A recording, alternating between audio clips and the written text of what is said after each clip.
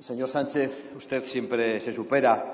Ha subido a la tribuna a decir que yo le había llamado asesino y luego, como se ha dado cuenta de que había metido la pata, casi decía que yo estaba rectificando desde la tribuna. Pero eso me ha permitido recordar algo que ha hecho usted hace un par de días. Y es que usted es el rey de la mentira. Supongo que esto le gusta más que lo de llamarle autócrata. Viene usted de contar mentiras, tralala, en el foro de Davos.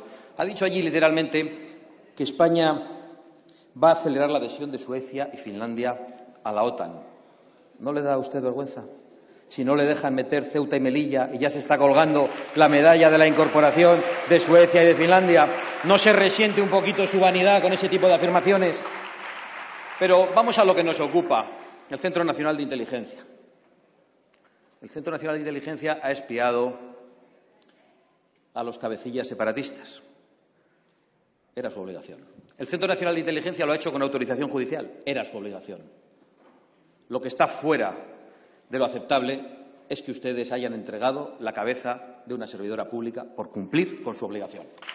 Y viene aquí a decir que va a reformar la ley de secretos oficiales y dice con Rentintín del año 1968, una ley franquista. A nosotros nos parece bien cambiar las leyes e ir actualizándolas siempre que sea para mejor.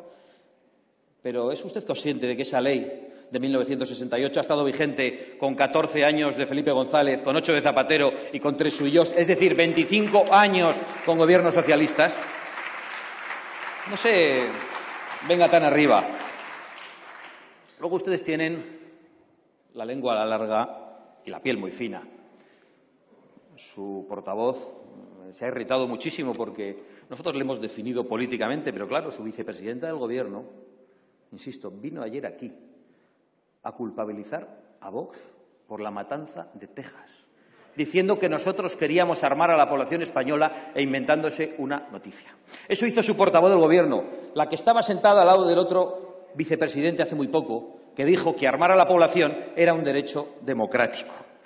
Y le tengo que recordar que aquí el único partido que ha sacado un arma en este hemiciclo es el señor Indalecio Prieto del Partido Socialista.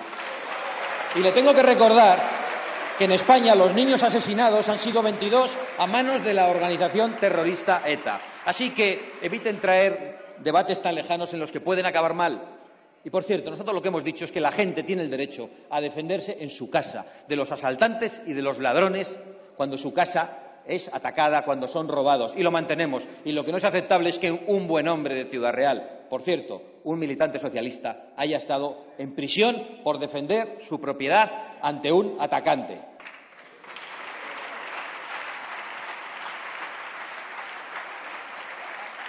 He de reconocer que usted y yo tenemos algo en común.